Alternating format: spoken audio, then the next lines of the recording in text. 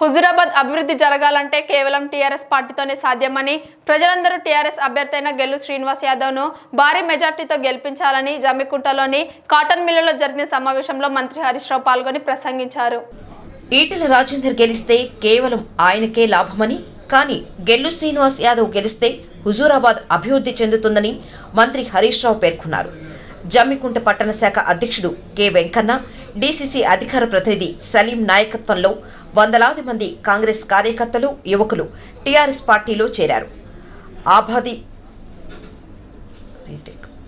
ఆబాది జమ్మికుంటలోని cotton మిల్లులో జరిగిన కార్యక్రమంలో వీరికి మంత్రులు హరీష్ రావు కొప్పుల ఈశ్వర్ గులాబీ కండువాలు కప్పి పార్టీలోకి ఆహ్వానించారు. కాగా టీఆర్ఎస్ పార్టీ ముఖ్యమంత్రి కేసీఆర్కు సంపూర్ణ మద్దతు ప్రకటిస్తూ కాటన్ మిల్లులో పనిచేసే హమాలీలు ఏకగ్రీవ తీర్మానం చేసి ఆ ప్రతిని మంత్రులకు అందజేశారు. సీఎం కేసీఆర్ ఎంతో ప్రేమతో పథకాలు పెడుతుంటే కొందరు కక్ష కట్టి ఆపేస్తున్నారని మంత్రి హరీష్ రావు మండిపడ్డారు. దళిత బంధు వద్దని బీజేపీ నేత ప్రేమందర్ రెడ్డి ఫిర్యాదు చేశాడని చెప్పారు. బీజేపీ సర్కారు కార్మిక వ్యతిరేకి అని ఆరోపించారు. బీజేపీ పాలిత గుజరాత్లో పని గంటలు ఎనిమిది నుంచి పన్నెండు గంటలకు పెంచి శ్రమ దోపిడీకి పాల్పడుతున్నారని దుయ్యబట్టారు. అభాగ్యులందరికీ నెల నెలా సరిపోయే మొత్తం ఆసరా పింఛన్ అందజేస్తున్న దేశంలోని ఏకైక రాష్ట్రం తెలంగాణ మాత్రమేనని అన్నారు. ప్రధాని మోదీ సొంత రాష్ట్రంలో కూడా ఆరు వందల రూపాయల పింఛన్ మాత్రమే ఇస్తున్నారని తెలిపారు. రైతులకు ఐదు లక్షల రూపాయలు ప్రమాద బీమా ఇక్కడ తప్ప మరే రాష్ట్రంలోనూ లేదన్నారు.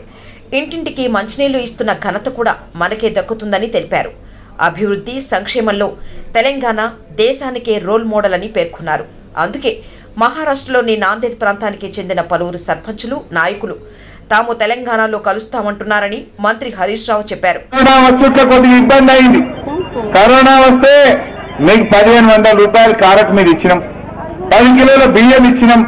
వాళ్ళు నెల నెలలో కందిపప్పు ఇచ్చినట్టున్నారు. కొంత మీకు సాయం చేసినాం. అప్పుడు అప్పుడు ఇప్పుడు కాదు ఏడాది కింద. కొంత సాయం చేసినాం. రేపు నేనేమంటున్నా రేపటికి మీకు కూడా తప్పకుండా ఈ వడ్డీ కూడా రైతుల మీద పడకుండా మిట్టితో సహా లక్ష రూపాయల అప్పు మాఫీ చేసి తీర్చమని చెప్పి కూడా నేను ఈ సందర్భంగా మనం చెప్తాం ఇవాళ మన పిల్లల కోసం టీఆర్ఎస్ ప్రభుత్వం వచ్చినాక ఒక లక్ష ముప్పై వేల ఉద్యోగాలు ఇచ్చింది. బీజేపీ ఉన్న ఉద్యోగాలు ఊడగొట్టిండ్రు. Etela Rajender party BJP party బిఎస్ఎన్ఎల్లో యాభై వేల మందిని ఉద్యోగాలకి వెళ్ళి తీసేసిండ్రు. రైల్వే డిపార్ట్మెంట్లో నాలుగు లక్షల ఖాళీలున్నా బీజేపీ కేంద్ర ప్రభుత్వం ఒక్క ఉద్యోగ నియామకాలు చేయడం లేదు.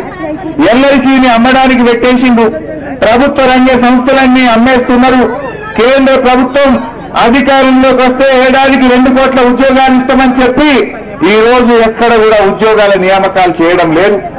కానీ కేసీఆర్ గారు టీఆర్ఎస్ ప్రభుత్వం ఒక లక్ష ముప్పై వేల ఉద్యోగాలు ఇచ్చాం.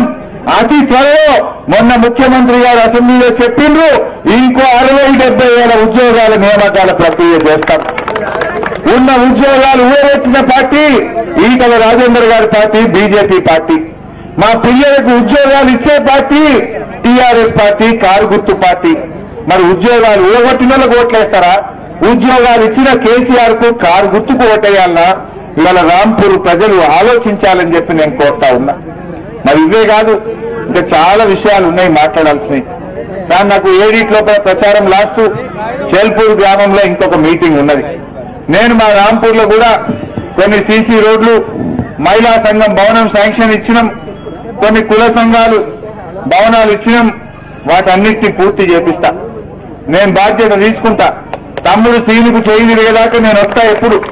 నాలుగు రోజులు ఉండి కలెక్టర్లను ఇంజనీర్లను నిలబెట్టి దగ్గరుండి మీ పనులు చేయించే బాధ్యత నేనుంటా. మీరు ఎక్కడ కూడా బాధపడాల్సిన అవసరం లేదు. మరి బ్రిడ్జ్ ఒకటి నడిమిట్లో ఆగిపోయిందట. మా అన్న చెప్తున్నాడు గా బ్రిడ్జ్ మాకు వాగు మీద తొందరగా పూర్తి కావాలి. రాంగ పొంగ బాగా ఇబ్బంది అవుతుంటున్నారు నాకు ఆ సీమ్ గెలిపింది మా తమ్ముడిని. ఉండేది టీఆర్ఎస్ గవర్నమెంట్. నేనే దగ్గరుండి ఆ బ్రిడ్జ్ దగ్గర కొబ్బరికాయ కొట్టి పని చేపిస్తాను చెప్పి మనం చెప్తా ఇప్పుడు ఎవరుంటుందండి ఆ గవర్నమెంట్? టీఆర్ఎస్ ఉంటది కదా. ఇప్పుడు కేసీఆర్ సార్ని కాదని ఓ పుల్ల ఇటున్నాడు పెట్టుదామా మరి ఇదంతా ఏమున్నా పన్నెండు రోజుల దుకాణం ముప్పై తారీఖు తర్వాత ఏముంటది? ఉంటుందా ఏమన్నా? మళ్ళా గవర్నమెంట్ కేసీఆర్ గారు ఉంటారు మీకు వడ్డీ లేని రుణం రావాలన్నా కళ్యాణ లక్ష్మి రావాలన్నా టైం మీరు ఆసరా పెన్షన్ అందాలన్నా రైతు బంధు పదివేలు రావాలన్నా బాయిల కాడ మీటర్లు లేకుండా ఉచిత కరెంటు ఇంత మంచిగా రావాలన్నా ఇది టీఆర్ఎస్ ప్రభుత్వం చేస్తుంది కదా. సో ఈ రకంగా ఇలా మన ప్రభుత్వం పనిచేస్తుంది. కానీ రేపు ముంగటి కూడా పనిచేస్తాం. మీరు ఒక్కటే మాట గుర్తుపెట్టుకోండి. తమ్ముడు సీనుతో పాటు నేను కూడా వస్తా. రాంపూర్కు మేము ఏదో ఓట్ల కోసం వచ్చినాం అనుకోకండి. ఈ ప్రభుత్వం ఇంకా రెండేళ్ళ నర్థం ఉంటది.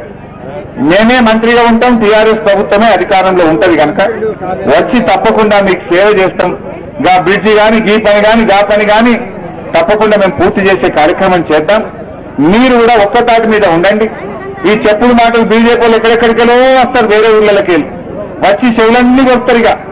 ఇటు అది చెప్తారు వాటిని ఇది చెప్తారు లేనిది ఉన్నట్టు చెప్తారు ఉన్నది లేనట్టు చెప్తారు. ఒక అబద్ధాన్ని యాభై సార్లు చెప్తే నిజమవుతుంది అన్నట్టుగా చెప్తారు. అవి నమ్మి మనం మోసపోవద్దు. పనిచేసే ప్రభుత్వాన్ని టీఆర్ఎస్ ప్రభుత్వాన్ని ఆశీర్వదించండి.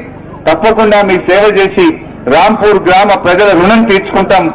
కారు గుర్తుకు ఓటేయాలని కోరుకుంటూ సెలవు. పైకేది రెండో నంబర్. గెలుసీని గుర్తు మీదికేలి రెండవ నంబర్ మీద ఉంటుందమ్మా. మొదటిది మనది కాదు రెండు డబ్బాలు ఉంటాయి. మొదటి డబ్బాలో రెండవ నంబర్ గెల్లు శ్రీనివాస్ యాదవ్ పేరుంటది. పక్కనే కారు గుర్తుంటది. జర కారు గుర్తును చూసి చక్కగా ఆ కారు మీద ఓటేస్తేనే మనకు లాభం జరుగుతుంది. మన గెల్లు సీను గెలుస్తాడనే విషయాన్ని ఇవాళ గుర్తు పెట్టుకోవాలని కోరుతా ఉన్నా. మా అక్క జిల్లాలో ఇంకో మాట చెప్పాలి నేను. జర ఓటేసినందుకు బయటనాడు మాత్రం తప్పకుండా మీరు వంట రూమ్లో పోయి జర గ్యాస్ సిలిండర్కు దండం పెట్టుకోండి. ఎందుకంటే ఆ సిలిండర్కు దండం పెడితే మీకు ఒక విషయం యాదికి వస్తుంది. ధర పెంచింది బీజేపీ వాళ్ళు దానికి ఓటు వేయద్దు. మనం సిలిండర్కు దండం పెట్టాలి బీజేపీ పార్టీని బొండ పెట్టాలి. గట్లయితే సిలిండర్ ధర కమ్మంటుంది ఆ విషయం మాత్రం జర అక్క జిల్లాలు పోయేటప్పుడు యాది పుచ్చుకొని ఒక్కసారి వంట రూమ్లో పోయి దండం పెట్టుకోరు ఇక. పోతే మీ ఓటు ఎక్కడ చక్కగా కారుకే పోతుంది కదా